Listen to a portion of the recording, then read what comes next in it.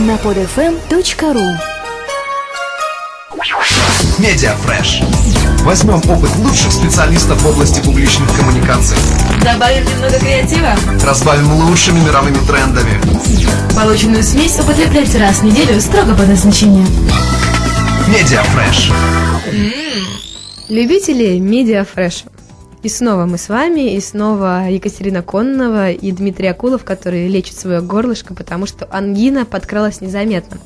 Сегодня я нашла ему замену. Не менее прекрасного мужчину, моего А большого... мес- А местами более. Ой, все, я тут хотела сказать моего большого друга, а он уже влез в эфир.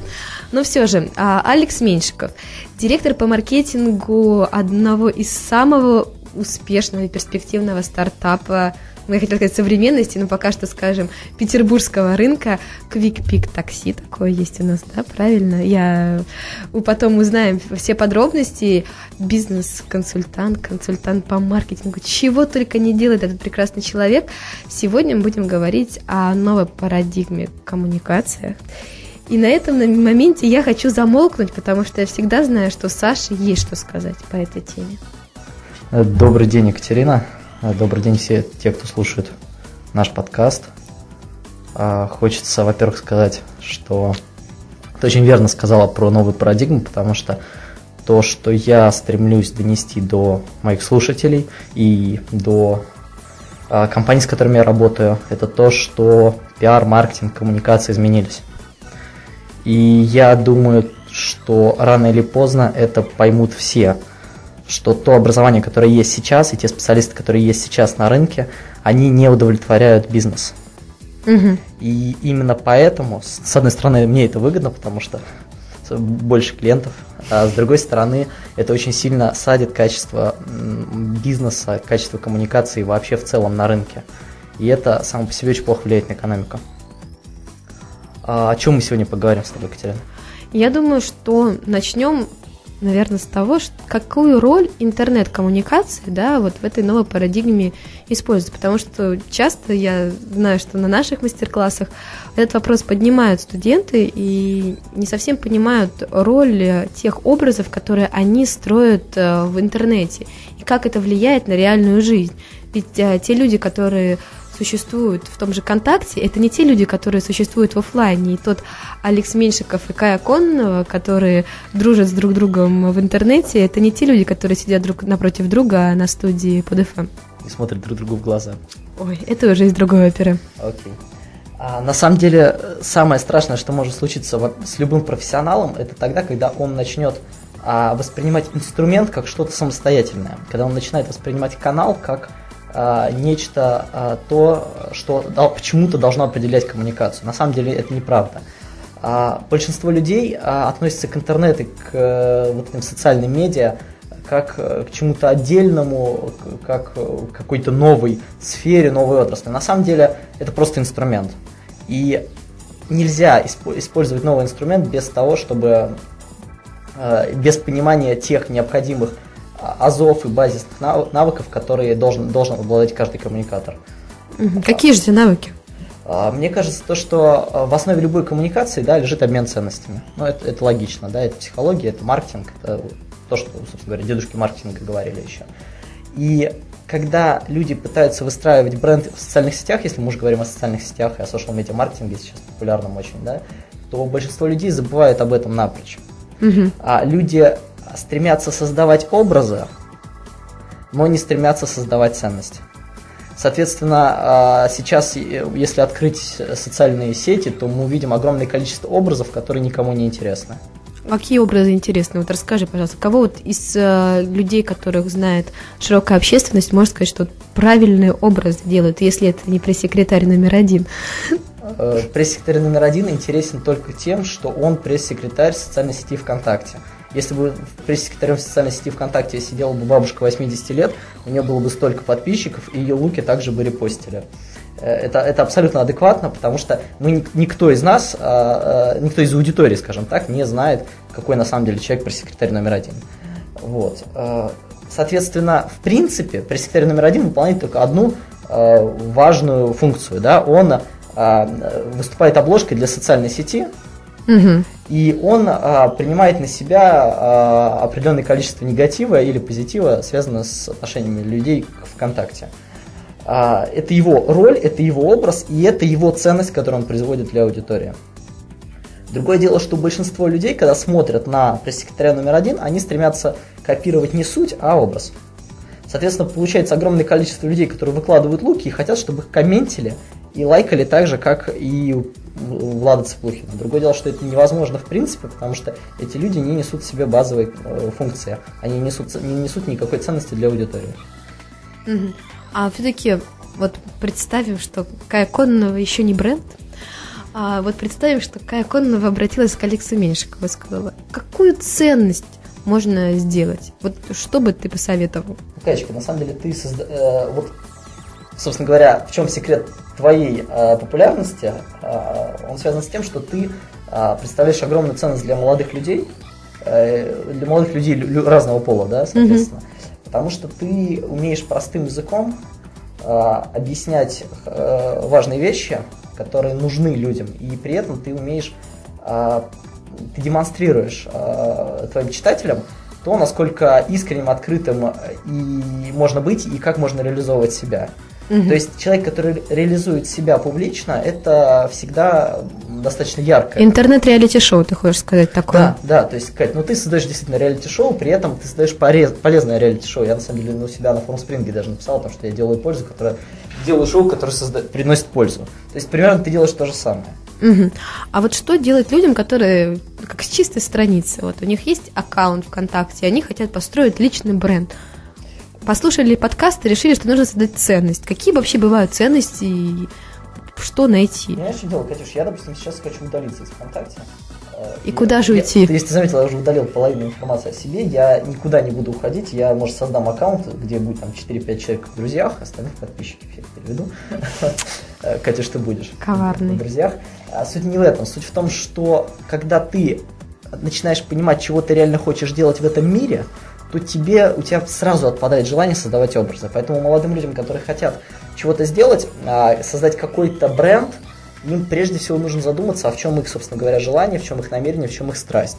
Если когда они находят это, когда они находят какой-то свой путь, свое видение жизни, то тогда социальные сети это всего лишь а, становится таким отвлекающим фактором плюс средством для коммуникации с аудиторией. То есть пробросить какую-то новость или что-то еще сделать.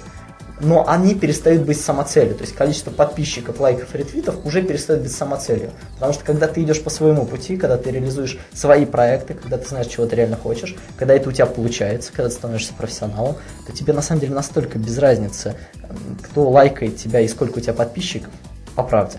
То есть это какой-то вариант э, фалометрии подписчиков, он отпадает сразу. Какое хорошее понятие, мне понравилось. Значит, э, по сути, нужно найти себя в жизни и потом уже это как-то транслировать э, в интернете. Правильно я тебя А, поняла? либо искать себя в жизни и транслировать это в интернете. А как же вот э, известные такие случаи, ну не будем опять же называть имен, известных масс-фолловеров, которые добились заметной известности в интернете, и потом вот эту вот популярность или когда они покупали подписчиков, транслировали в реальную жизнь и добивались успехов, э, ну скажем так, на околополитической арене. А, Я понимаю, о чем ты говоришь. Мы с тобой даже вели, по-моему, мастер-класс то ли в Бонче, то ли в Герцена по, по этому поводу. И мы там пришли с тобой к забавному выводу о том, что а, в, базе, в базе все равно лежит профессионализм. И те люди, которые а, зарабатывают популярность, да, они заработали популярность, они ее монетизировали.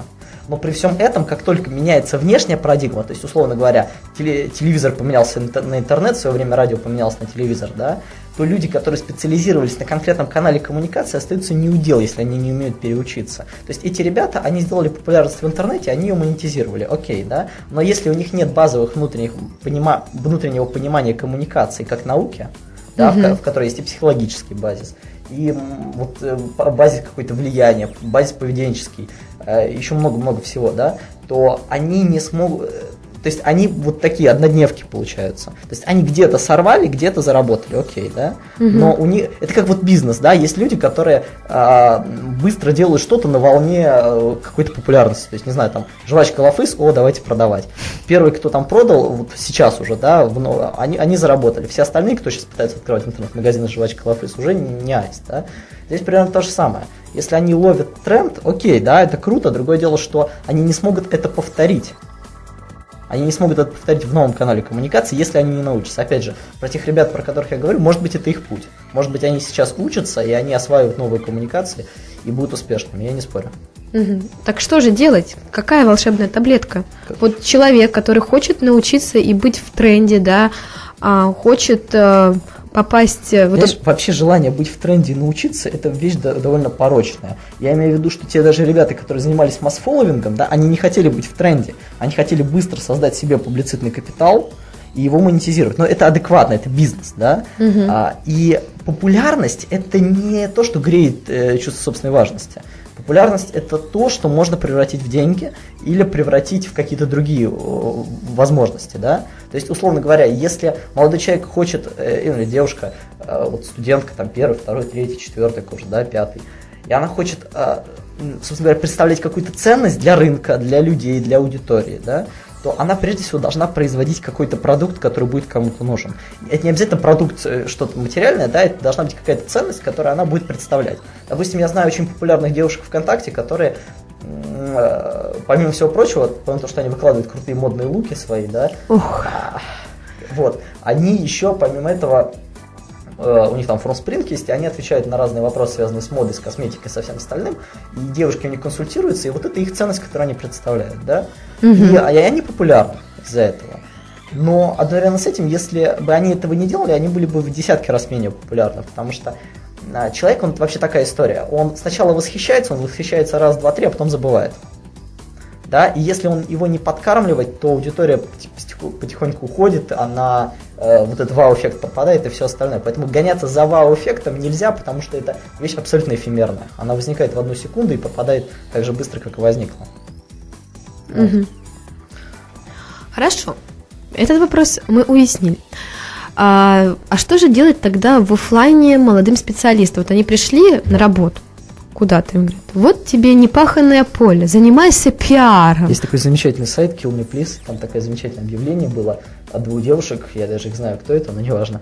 Они написали о том, что мы две лохушки закончили журфак, э, не можем найти работу 16 месяц, сидим, пьем вино на деньги родителей. Пристрелите нас, пожалуйста. Вот. Э, и Не че- хочу, чтобы и нас и стреляли. с- И, к сожалению, э, вот эта история, она более чем реальна, потому что, как я уже говорил, в России есть разрыв между коммуникаторами и бизнесом. И чтобы найти хоть маломальски хорошую работу с хорошим окладом, ты должен доказать, что ты нужен предпринимателю. Да? Потому что, по сути, да, если мы говорим о новой парадигме, то рынок меняется. И а, если раньше бизнес, да, ну, в любом случае бизнес это двигатель всего, да, если бы не было бизнеса, не было бы специалистов по коммуникациям, ибо зачем, да, ну, были бы джаровские специалисты, которые отвечали бы за связь государства, и, и были бы какие-нибудь э, коммуникаторы, которые помогали бы наладить межчеловеческое общение. Межличностное общение. Межличностное общение, да. А если мы говорим о бизнесе, то по сути, ну вот основные деньги создает бизнес, да, ну, во всяком случае в развитых странах. В России, кстати, процент, по-моему, 12% ВВП это бизнес, в Америке 67%. А что у нас основное? Ну, нефть, газ, ресурсы, там все на свете. И нет человеческого. Вот и человеческий фактор вот в этом. Смотри, и вот когда э, наши коммуникаторы начинают думать о том, чего же нужно бизнесу, они понимают одну простую вещь. Бизнес без продаж невозможен. Э, бизнес это и есть продажа. Бизнес это про то, что ты создаешь ценность, и эта ценность кому-то нужна, и ты просто отдаешь эту ценность. Да? Питер, Питер Друкер сказал в свое время, что э, бизнес это маркетинг и инновации, все остальное это затраты. И вот это очень точно. У тебя есть идея инновационная, и дальше ты должен ее донести. И, соответственно, а как сейчас учат современных коммуникаторов, что вот вы понимаете, вы же пиар, пиар вы должны создавать взаимопонимание и доверие между целевой аудиторией. Что за чушь? То есть это полная ересь. Вот, вот такие специалисты, они никогда не будут востребованы рынком. Просто потому что а, когда бизнесмен нанимает пиар-специалиста, который хочет зарплату там 40 э, тысяч плюс, да, и он слышит о том, что я буду создавать доверие между вами и целевой аудиторией, то он такой фейспалм и все, не дай бог. Потому что кому это нужно? предпринимателю, да, нужно, чтобы его товар э, был доступен целевой аудитории, она его хотела, она его покупала, Мгм. чтобы э, счет пополнялся деньгами. И как же все-таки вот молодому специалисту продать вот через, э, не знаю, средства связи с общественностью или маркетинга или чего-нибудь? Вот скажи мне как, потому что по сути сейчас э, я знаю, что многие говорят, пиар не продает, пиар это имидж. А мы будем создавать э, такой образ, чтобы вас все любили, ставить лайки, репосты. Ну, смотрите, как развивался. Вот на самом деле сейчас общая тенденция, это ухо- э, если раньше пиар это был самостоятельной дисциплиной, то сейчас мировая тенденция, когда пиар интегрируется с маркетингом. Как развивалось это на Западе? Public relations, в отличие от маркетинга, специальность относительно новая, да, я имею в виду в таком публичном характере. И раньше а, бизнес, он шел от экономики, то есть был, а, было, было производство и были средства стимуляции сбыта, так называемые, да. Там э, был какой-то набор маркетинговых инструментов, которые стимулировали сбыт. Да? Потом появился public relations, когда поняли, что стимуляция сбыта работает лучше, если еще устанавливать коммуникацию. Да? Но лет 10 назад произошло, произошел сдвиг парадигмы, когда люди перестали думать о бизнесе как о производстве и стали думать о бизнесе как о создании ценности для людей. И когда бизнесы начали открываться не как а, что-то из серии, у меня есть продукт, кому, кому бы его продать, а когда есть аудитория, которой что-то нужно, я ей это даю. Я найду, как это произвести, я ей это даю. И когда мы подходим вот с такого понимания, то мы начинаем понимать, что на самом деле public relations это вещь вторичная. Потому что когда мы даем человеку аспирин, когда у него болит голова, то ему абсолютно не важно, ему абсолютно не важно, а, в какой упаковке будет этот аспирин, и с каким выражением лица и с какими словами мы его будем давать. И когда мы думаем о бизнесе с этой концепцией, мы понимаем, что важно создавать какую-то ценность, да, почему у меня курс называется маркетинг ценности, да, который мы с тобой иногда делаем, читаем, А, потому что важно создавать какую-то ценность, а потом уже выстраивать коммуникацию на этом фоне. Но в России люди, как обычно, схватили какую-то модную тенденцию, услышали, что public relations это здорово, это круто, давайте все восстанавливать взаимопонимание и доверие, не понимая, что в основе этого взаимопонимания и доверия должна лежать какая-то ценность для людей. И для начала нужно донести ценность, а потом уже выстраивать коммуникацию. Потому что public relations, у него на самом деле в маркетинговых коммуникациях есть две конкретные точки. Первая точка это информирование, то есть это создание а, какого-то фонового знания. Да? И вторая точка это до продажи. То есть это то, почему клиент должен вам, к вам вернуться. Больше у него смысла нету. И поэтому бизнесменам сейчас, если кто-то открывает бизнес, да, вам не нужно приглашать пиарщика, приглашайте маркетолога, который в том числе будет обладать некоторыми навыками в media relations. Да, в пресс-релизах. А лучше media relations заказывать на аутсорсинг, это получается дешевле, чем держать специалиста. А, и очень просто, то есть вам напишут люди пресс-релиз, разошлют его по СМИ, все, больше вам пиарщик не нужен. А вот в чем отличие маркетолога от пиар-специалиста? Потому что многие очень сильно путают эти понятия, и когда а, вакансию размещают, тоже не всегда осознают а, тонкости в их работе. Ну, скажем так, а, по-хорошему маркетолог это более общее понятие, да. А маркетолог это, по сути, это соратник бизнесмена. Маркетолог это должен быть по- по-хорошему второй человек в компании, и э, на Западе очень принято, что маркетологи являются совладельцами, то есть они входят в долю. Почему? Потому что маркетолог это человек, который должен быть напрямую, э, должен напрямую быть заинтересован в развитии бизнеса. Маркетолог это тот человек, который по сути создает бизнес, да? То есть бизнес сейчас делают маркетологи. Почему? Потому что маркетолог продумывает, что, то есть он узнает, что нужно людям и продумывает, как им это дать. То есть вот основная коммуникация бизнесовая. Вот он за нее отвечает. А пиарщик это человек, который вокруг вот этой всей коммуникации, да, помогает а, а, создать какой-то еще флер а, какой-то коммуникативной приятности, да. Там social media маркетолог это по сути коммуникатор, который занимается а, а, вот этой же самой коммуникацией в социальных медиа, да. Но при этом маркетинг и специалист по маркетингу, консультант по маркетингу, директор по маркетингу, это, это по сути это не второе, даже первое лицо в компании, помимо владельца. Мгм. Это когда произошло? Когда вот поменялись э, вот эти парадигмы? Ну, это где-то, наверное, вот м, 90-е годы на Западе, А в России? а в России еще нету этого. А, то есть мы еще и так ползем. Ну, как сказать, да, мы вот первопроходцы. На самом деле в Россию, как обычно, все это пришло книг нету, книги еще не перевели даже. Нет, нет тренингов, нету курсов. А, То есть, э, когда я получал вот эти знания, то я получал от людей, которые получали их на Западе, в Америке, где-то еще, да. Мгм. И ну вот, э, если посоветовать, то Дэн Кеннеди, Дэн Риэли, если вот маркетологи не знают, кто это, то особого смысла в, в них и в, и в пиарщиках тоже нету. Потому что вот, вот это, это даже, э, это база, ну реально база. То есть э, это, это не какие-то там заумные вещи. У нас, как обычно, в России это все приходит через бизнес-образование, то есть не через коммуникационное образование, потому что, к сожалению, у нас коммуникационные специальности преподают в университете людям, которые до этого преподавали историю, люди, которые, ну, кто у нас преподаватели, да, по пиару, по маркетингу, Это историки, ну, короче, гуманитарии всех мастей, да, Да. вот. И плюс у нас такой есть, на самом деле, относительно неприятное извращение, когда у нас пытаются пиар-маркетинг открывать на базе журналистики. Да, это очень часто происходит. Вот э, адекватно открывать на базе экономических и менеджментских каких-то специальностей. Потому что э, у, и у пиарщика, и у маркетолога должно быть четкое понимание о том, что все, что они делают, это коммуникация для чего-то. Для чего? Для процветания компании, для э, создания э, ценностей, для повышения продаж. Вот Мгм. только, только это. Только это.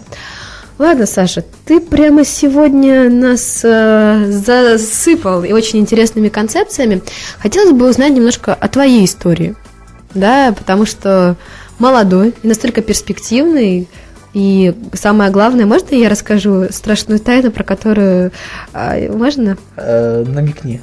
А, если пресс-секретарь номер один, а есть бог всех людей, которые сидят в этой социальной сети, можно такое небольшое? Ладно, все равно, убьешь ты меня после эфира или нет. А, компания, которая сейчас а, возглавляет директор по маркетингу Саша, да, как он говорит, первое лицо в компании уже. А, Маркетолог номер один. да, маркетолог номер один. А, Эта компания получила грант а, от а, Турова и Миллера. да. Поэтому перспективная компания, чтобы все понимали. И расскажи, как же ты вообще туда попал? Вообще, что ты там делаешь? И, наверное же, ты внедряешь э, маркетинг нового поколения. Ну, было очень просто, потому что мы... э, ну, то есть э, это была одна из тех компаний, которая была у меня на консалтинге, и которым я помогал как раз создавать вот эту ценность с, с нуля для рынка.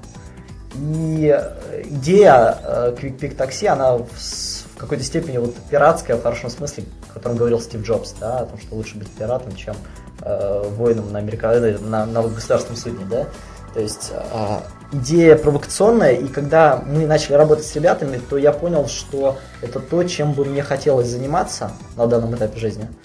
И я как-то свернул всю остальную практику свою и с головой ушел туда. Вот.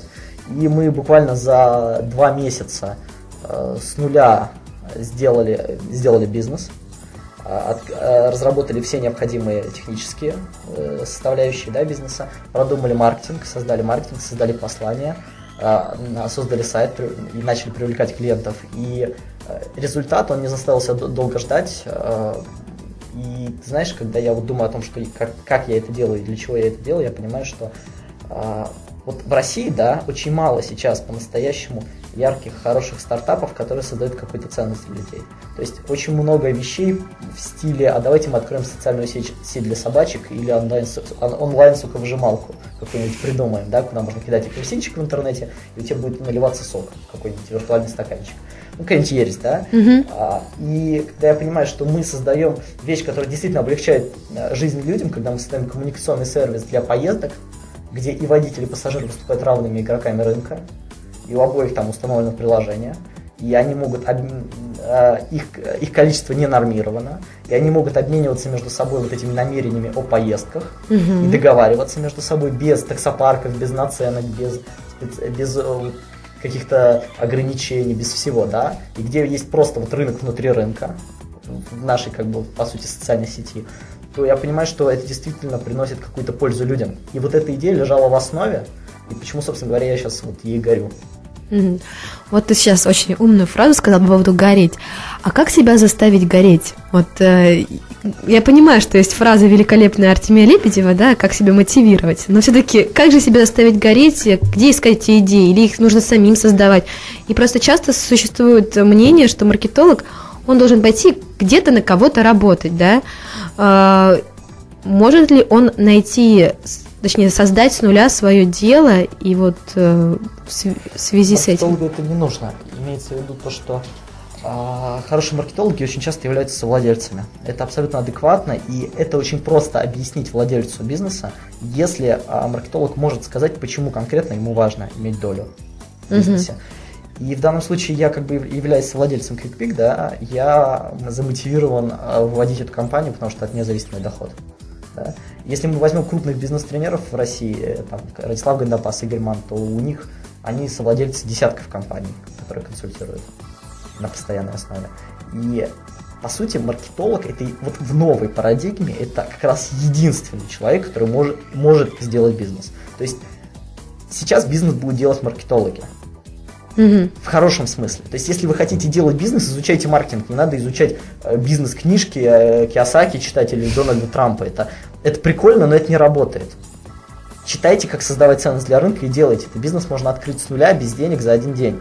Я в декабре этого года сделал компанию по клинингу и вышел на сам- самоокупаемость за две недели. При том, что в клининговой компании есть достаточно большие затраты на оборудование. Но я вышел в самоокупаемость за две недели. После этого я компанию закрыл. Почему? А, Скучно. Да, скучно, интерес потерял. Но неважно. А, я хочу просто донести вот это понимание того, что на самом деле ничего не нужно а, делать специально, не нужно никаких а, не нужно испытывать никакого лишнего страха по поводу а, собственного как бы, развития, собственного бизнеса, собственного дела. Если вы просто изучаете то, что нужно людям, если вы пытаетесь это им донести, да, то рынок ответит вам благодар- с благодарностью. Саша, ну вот ты представляешь, что мы с тобой уже пообщались практически все время, которое нам было отведено на передачу, и в конце Это микроподкаст. Да, микроподкасты. А у нас всегда есть блок, когда наши эксперты дают советы молодым специалистам, тем людям, которые учатся на специальности пиар, реклама, маркетинг, журналистика, или которые только входят в профессию смежных областей, или вообще не представляют, что такое коммуникации, и вот благодаря нашим подкастам черпают знания. Вот что ты можешь посоветовать а, людям, которые в эту отрасль входят э, и хотят прокачать себя и быть успешными? Хочу донести несколько мыслей, они у меня крутятся в голове, они больше связаны, на самом деле, с личностным каким-то ощущением, с личностным развитием, чем с профессионализмом, потому что профессионализм это, ну, по сути, шелуха, имеется в виду, что это просто набор навыков, то есть в, в этом нет ничего такого сложного. Я хочу сказать, что надо отбросить, причем достаточно жестко, я, вот как у мистера Фримена, знаете, в роликах о том, что что будет, если вы отформатируете, отформатируете винчестер в своем- в своем компьютере, да, что с вами случится, как вы будете себя чувствовать. Я хочу сказать, что вы должны отбросить не то, что прошлое, вы должны отбросить все привязки, вы должны перестать фокусироваться на количествах лайков в социальных сетях, на количество френдов, на количество фолловеров. Вы должны отбросить все желание нравиться и желание произвести впечатление. Вы должны отбросить идею о создании собственного бренда. И когда вы отбрасываете все это, когда вы расчищаете свое сознание, когда вы перестаете привязываться к своим каким-то вот этим э, э- э- эгоцентричным, эгоистичным желаниям, то вы начинаете вдруг чувствовать, а чего вы на самом деле хотите делать в этой жизни. И да, это займет некоторое время, но в конце этого пути обязательно вы найдете свою страсть. Юра Левшиц очень хорошо в ролике сказал, у меня есть немножко другая формулировка о том, как понять, чего вы хотите на самом деле. Да? Вот задайте себе один простой вопрос. А чем бы вы занимались, чем бы вы занимались в своей жизни, если бы уже сейчас были счастливы? Абсолютно. То есть, если бы у вас сейчас были, условно говоря, все необходимые материальные блага, если бы у вас э, были бы отношения, которые вы хотите, если бы у вас жизнь сложилась, вот чем бы вы занимались? И когда вы ответите на этот вопрос, а я гарантирую, что вы ответите на него, если вы будете о нем думать, ответ придет в течение недели, допустим, да, с момента прослушивания сегодняшнего подкаста, то задайте себе второй вопрос, а что вам, черт возьми, мешает делать это прямо сейчас? Вот что мешает? И когда вы поймете, что на самом деле вас, вам ничего не мешает делать, то просто берите это и делайте. Это будет ваша страсть, это вы будете вот этим гореть. А по поводу Артемия Лебедева, это просто провокативка. Она смысла не имеет, она не имеет сути. Что бы, чем бы вы занимались, если были уже счастливы? И что вам мешает это делать прямо сейчас? Эти два вопроса, они просветляют. Но для того, чтобы просветлиться, я вам сказал, нужно отбросить очень много, чтобы расчистить для поле для, вот, собственно говоря, для того, чтобы увидеть свой путь свою, свою страсть, свое желание. Собственно говоря, вот на этом хотел завершить. И не думайте о профессионализме, думайте Когда вы найдете свою страсть, то вы поймете, как вы можете эту страсть сделать полезной для людей. И вот тогда это будет той базой маркетинговой, той профессиональной базой, на которой вы сможете строить и личностный бренд, и бизнес успешный, и все что угодно. Это очень просто. Такие секреты успеха от Алекса Меньшикова. Ну, с вами была Екатерина Коннова каждый понедельник в 18.00 на PodFM Media Fresh. М-м-м. Медиафреш. Скачать другие выпуски этой программы и оставить комментарии вы можете на podfm.ru.